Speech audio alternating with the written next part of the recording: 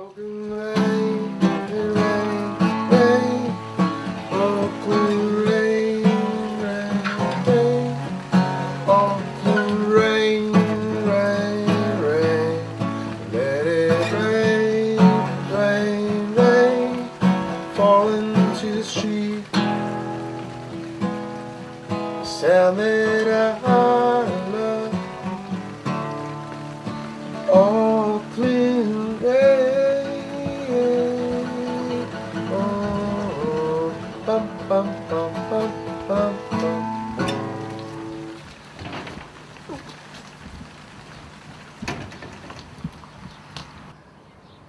What I'm learning as I get back into the music again is that if I let go of my ego, which is a Christian principle, you let go of your ego, then you let go of the I, then things will start to happen for you because we are giving creatures. And as soon as you stop the taking, me, me, me, and actually think, okay, I'll give all that up, what do you want me to do, Lord?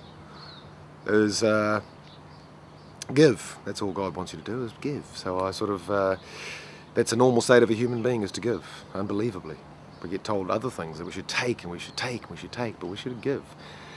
And so now I'm getting back into the, now that I've released the I a little bit, it's coming back and I'm not even trying and it's good. And so the ego thing is there, obviously, but it's also, I'm not ashamed of it. I just think, it's what you do. What do you do? This is what I do.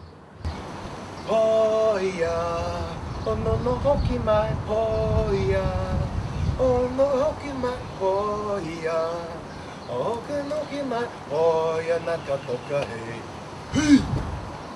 I blame the American establishment and the American corporates and the hierarchy and the military for what they're doing, but I don't blame the American people because American people, I've travelled to America and they're lovely people, just like Kiwis, you know, just friendly people. My new song's called Good People, and that's all I got so far. That's what I got is good people. But it's going to be a song, and guess what? It's going to be about good people of the world.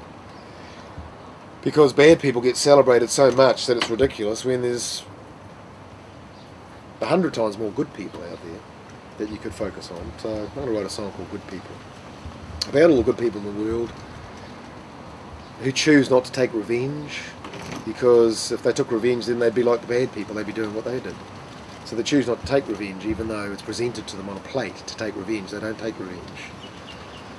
And that's pretty important that you don't do that because as soon as you do that, you, you, you a little chunk of your goodness gets taken away from you. You lose a bit of your soul old video shop guy in his, in his 50s and he um, this lady's quite rude to him. She says I bought these videos back and they're a day late and I'm not paying the fee on them because something.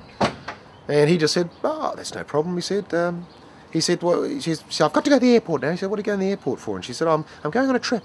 He said oh well you have a lovely time on your trip. She was quite rude to him. He didn't need to say anything to her other than oh yeah I'll take him back it's cool.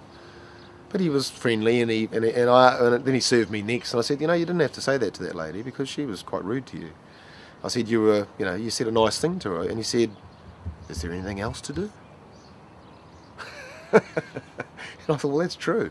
There is nothing else to do but be giving and friendly. What other point is there? I don't know. No, you wouldn't believe that, would you?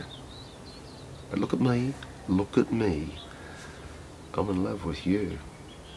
Only you. You. Mm. Yeah.